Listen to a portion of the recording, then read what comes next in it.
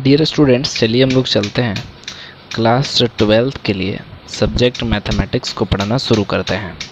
जैसा कि आप जानते हैं, हम लोग अभी मैथमेटिक्स में इंटीग्रेशन चैप्टर को पढ़ रहे हैं और इस इंटीग्रेशन वाले चैप्टर में हम लोग एन बुक को फॉलो करते हुए एक्सरसाइज 7.4 को पूरी तरीके से ख़त्म कर लिए हैं। तो चलिए आगे हम लोग स्टार्ट करते हैं आज। एक्सरसाइज 7.5 का थ्योरी ठीक है? क्योंकि कोई भी एक्सरसाइज को करने से पहले थ्योरी उसका होना बहुत ज़रूरी है। ठीक है? तो चलिए हम लोग थ्योरी पढ़ना स्टार्ट करते हैं। तो इस थ्योरी में हम लोग सबसे पहले देखेंगे कि इंटीग्रेशन का कुछ फार्मूला ठीक है? फार्मूला ऑफ़ इंटीग्रेशन या फिर integration of following function topic देंगे. इंटीग्रेशन ऑफ़ फॉलोइंग फ़ंक्शन ठीक है? इंटीग्रेशन ऑफ़ फॉलोइंग फ़ंक्शन यानी कि कुछ फ़ंक्शन है जिसका हम लोग इंटीग्रेशन कर सकते हैं. तो अब उसका कौन कौन से फ़ंक्शन है? तो फ़र्स्ट में अगर मान लिया कोई डीएक्स है ऊपर और root under one minus X square रहेगा तो इसका इंटीग्रेशन हो जाता है दोस्तों साइन इनवर्स एक्स प्लस में सी याद रखिएगा साइन डी एक्स बटा रूट अंडर अगर वन माइनस एक्स स्क्वायर रहेगा तो इसका इंटीग्रेशन क्या होता है? साइन इनवर्स एक्स दूसरा कि अगर साइन ऑफ़ इंटीग्रेशन रहेगा डी एक्स बटा वन प्लस एक्स स्क्वायर रहेगा तो दोस्तों आपको पता होना चाहिए कि अगर इस तरीके का अगर इंटीग्रेशन रहेगा, वन प्लस एक्स स्क्वायर तो इसका आंसर होता है tan inverse X plus C ठीक है? क्या होता है? Tan inverse X plus C अगर मान लिया दोस्तों, इंटीग्रेशन रहा डी एक्स बटा एक्स और root under X square minus one तो इसका हो जाता है sec inverse X plus C इसका क्या होता है? Sec inverse X plus C ठीक है? ये तीन इम्पोर्टेंट फ्लोइंग फ़ंक्शन था। ये तीन इम्पोर्टेंट फ़ंक्शन है, जिसका इंटीग्रेशन करके हम लोग इसका आंसर निकाल सकते हैं। ठीक है? तो ये तो हम लोग पहले भी फार्मूला पढ़े थे, क्योंकि साइन इनवर्स एक्स का जो डिफ्रेंसिएशन होता है one by root under one minus x square होता है। तो इसका उल्टा one by root under one minus x square का होता है इंटीग्रेशन क्या? तो साइन इनवर्स एक्स, ठीक है? Integration d x by one plus x square क्या होता है? वन प्लस एक्स स्क्वायर का होता है टेन इनवर्स एक्स। तो दोस्तों, ये फार्मूला तो हम लोग पहले ही पढ़े थे। चलिए नेक्स्ट और कुछ इंपॉर्टेंट पैरामेट्रिक फॉर्म देखा जाए। तो अब नेक्स्ट टॉपिक लिया जाए। वो फार्मूला है, इसको पहले भी याद किए होंगे आप। मे बी और नहीं याद किए होंगे तो याद कर लीजिएगा। Integration by using using PF अब देख लो भाई, ये बातें समझना आपको बहुत इंपॉर्टेंट है, ठीक है? कि आखिर जो इंटीग्रेशन करेंगे, वो पीएफ का यूजिंग कैसे करेंगे? पीएफ का मतलब होता है दोस्तों पार्शियल फ्रैक्शन पीएफ का मतलब पार्शियल फ्रैक्शन अगर आपको कैसे समझ में आएगा कि ये पार्शियल फ्रैक्शन का इंटीग्रेशन है? तो जैसे कि इंटीग्रेशन हम लोग किए हुए हैं सब्टिट्यूशन मेथड से, उसी तरीके से आपको जानना चाहिए कि पार्शियल फ्रैक्शन से हम लोग इंटीग्रेशन कैसे करेंगे, ठीक है? तो इसके लिए भी कुछ रूल नियम है। जला पहला वाला रूल नियम देखते हैं। पहला वाला पहला वाला रूल नियम है कि अगर ऊपर रैखिक समीकरण रहे p x minus p x plus q रहे, ठीक है? और नीचे दो पार्ट में गुणनखंड रहे, जैसे एक्स माइनस ए और एक्स माइनस बी दोस्तों, यहाँ पे पी और क्यू भी क्या है? एक कांस्टेंट है कांस्टेंट है। ए भी क्या है? ए और बी भी कांस्टेंट है। तो अगर ऊपर में रैखिक समीकरण रहे और नीचे में गुणनखंड के रूप में x माइनस ए और x माइनस बी रहे, तब आपको पता होना चाहिए इसको दो पार्ट में तोड़ते हैं। A बटा x minus a plus b बटा एक्स माइनस बी इसका यूज़ करके ए और बी का मान पहले हम लोग निकालेंगे। ठीक है? पहले आप सीखते जाइए क्या क्या बोल रहे हैं। पहला सिचुएशन कब? जब ऊपर में रैखिक समीकरण होगा। पी एक्स प्लस क्यू और नीचे में एक्स माइनस ए और एक्स माइनस बी क्या है? गुणनखंड में है। तब इसको हम लोग दो पार्ट में तोड़ेंगे ए और डी में। चलिए, दूसरा अगर ऐसा रहेगा तो कैसे करेंगे? जैसे मान लिया कि ऊपर में रैखिक समीकरण तो है, ठीक है, ऊपर में रैखिक समीकरण है, लेकिन नीचे में होल स्क्वायर मिल जाएगा। X प्लस ए चाहे x माइनस ए का होल स्क्वायर कुछ भी। X प्लस ए का ही होल स्क्वायर मान लीजिए, चाहे x माइनस ए का ही होल स्क्वायर मान लीजिए, यानी कि ऊपर में रैखिक समीकरण ज़रूर है, लेकिन नीचे में होल स्क्वायर रहेगा, तब इसको कैसे तोड़ेंगे? तो दोस्तों, इसको तोड़ने का रूल है कि ए लिखिए और बटा में जो होल स्क्वायर है, उसको सबसे पहले एक्स प्लस ए लिख लीजिए। और प्लस बी में उसको क्या कीजिए? अब की बार पूरा का पूरा स्क्वायर उसको वैसे ही चढ़ा दीजिए। समझ में आ रहा है?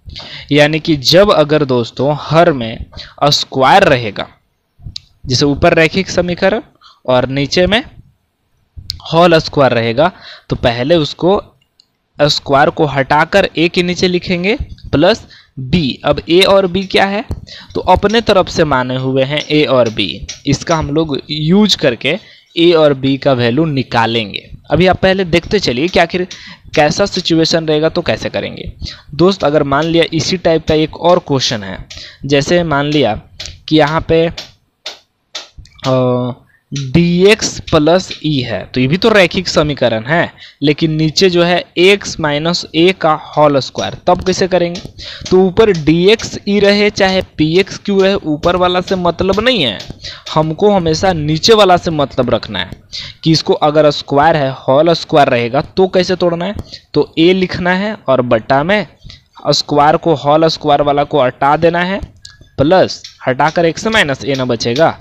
और b बट्टा अब की बार पूरा का पूरा x माइनस ए का होल स्क्वायर आप लिखने का तरीका समझिए कि अगर नीचे वाला गुणनखंड किया हुआ रहेगा तो आराम से उतना भाग में बांट देंगे. दो गो गुणनखंड रहेगा तो a बटा उतना, b बटा उतना. अगर स्क्वायर रहेगा तो इसको भी दो पार्ट में बांटेंगे. लेकिन एगो बिना स्क्वायर का और एगो स्क्वायर करके. यहाँ पे भी वही काम करेंगे. अच्छा चौथा सिचुएशन अगर मान लिया दोस्तों, ऐसे रहेगा। P x square plus q x plus r ऊपर द्विघात समीकरण रहेगा, समझ में आ रहा है? और नीचे तीन गो गुणन खंड रहेगा। X minus a x minus b और एक्स माइनस सी तो नीचे कितना भी गुणनखंड में, अगर तीन गो गुणनखंड है तो इसको तीन गो बटा में तोड़ेंगे। ए बटा x minus a plus b बटा x minus b plus c बटा एक्स माइनस सी। समझ में आ रहा है? यानी कि p x square plus q x plus r. ऊपर द्विघात समीकरण है। तो ऊपर से हमको ज़्यादा मतलब रखना ही नहीं है। नीचे वाला आप देखिए। और यही सिचुएशन आपको समझना है कि अगर नीचे वाला गुणनखंड, तीन गो गुणनखंड में रहेगा तो इसको तीन पार्ट में तोड़ेंगे। ए बटा एक्स माइनस ए, बी बटा एक्स माइनस बी और सी बटा एक्स माइनस सी। ये जो सी है, वो बड़ा बड़ा सी है। बड़ा सी, बड़ा बी, बड़ा ए। और ये छोटा है, ठीक है? अब ये बी ऊपर वाला जो लिख रहे हैं, इसका वैल्यू हम लोगों को निकालना होगा। अभी आप देखते चलिए, सब चीज़ हम आपको बताएँगे। अच्छा अगला सिचुएशन अगर क्वेश्चन ऐसा रहेगा कि ऊपर द्विघात समीकरण रहेगा p x square q x plus r. लेकिन ऊपर ऊपर वाला से तो मतलब नहीं है। हमको नीचे वाला देखना है। नीचे वाला दोस्त ऐसा रहेगा। देख लो, एक्स माइनस ए का होल स्क्वायर, ठीक है, और इंटू एक्स माइनस बी। ऐसा रहेगा तो कितना पार्ट में तोड़ेंगे?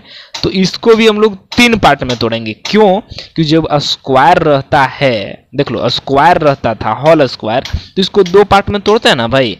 एक और आ गया गुणनखंड में तो इसको कितना पार्ट में तोड़ेंगे? तीन पार्ट में तोड़ेंगे। इसका मतलब ये हुआ कि ए बटा x minus a plus b बटा एक्स माइनस ए का होल स्क्वायर इसको खाली तोड़े तो इतना इतना में टूटेगा। और फिर सी बटा सी बटा कितना? एक्स माइनस में बी ठीक है? सी बटा एक्स माइनस बी यानी कि अगर ऐसा सिचुएशन रहेगा तो हम लोग तीन पार्ट में तोड़ते हैं। ए बी और सी चलिए आगे हम लोग देखते हैं। अगर आ, दूसरे टाइप का सिचुएशन रहा कैसा सिचुएशन दिखाते हैं छठा। अगर ऊपर द्विघात समीकरण रहा p x square plus q x plus r और नीचे में, हर में एक्स माइनस ए रहेगा, और फिर यहाँ पे द्विघात समीकरण रहेगा, जैसे x square plus b x plus c. तब इसको कैसे करेंगे? अभी आप चीज़ों को ये समझिए कि कैसा कैसा सिचुएशन रहेगा तो हम कैसे कैसे पार्ट में तोड़ेंगे। देख लो, हर में क्या है? एगो गुणनखंड में x माइनस ए है और फिर द्विघात समीकरण आया। तो सबसे पहले एगो गुणनखंड वाला को आप यहाँ से तोड़ दीजिए a by x minus a ठीक है? फिर प्लस अब जब द्विघात समीकरण नीचे में रहेगा तो इसको दो पार्ट में तोड़ते हैं बी एक्स प्लस सी दोनों साथ में. और बटा x square plus b x plus c ठीक है? ये ऐसा कब करते हैं? देख लो. पहले हम लोग क्या करते थे कि अलग अलग ए बी सी को तोड़ते थे. लेकिन किसके वजह से बी एक्स प्लस सी को साथ में रखना पड़ रहा है? किसके वजह से? तो ये नीचे द्विघात समीकरण आ गया। ठीक है? गुणनखंड में द्विघात समीकरण। इसलिए इसको हम लोग बी एक्स प्लस सी बोलना पड़ रहा है। ठीक है? चलिए, आगे देखते हैं। सातवां नंबर। अगर मान लिया दोस्तों कि ऐसा मान लिया, ऊपर त्रिघात समीकरण आ गया। P x q q x square r x r x plus s ठीक है, ऊपर त्रिघात आ गया और नीचे ऐसे आ गया। X minus a x minus b और फिर x square x square plus d x plus e तब इसको कैसे तोड़ेंगे? तो भाई मेरे, जब ये ये द्विघा अलग अलग गुणनखंड में तो इसको आप तोड़ लो। ए बटा x minus a plus b बटा अलग अलग है? रैखिक समीकरण में अलग अलग तोड़ दीजिए।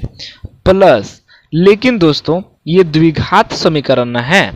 तो इस द्विघात समीकरण के लिए आप सी एक्स और डी को एक साथ रखिए और तब नीचे द्विघात समीकरण रखिए। समझ में आया?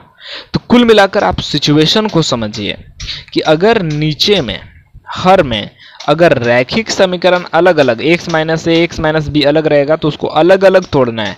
लेकिन जैसे ही द्विघात समीकरण आ गया तो x को साथ लेकर, जैसे a और b हो गया तो सी एक्स प्लस डी लिखेंगे, और उसके नीचे का द्विघात समीकरण।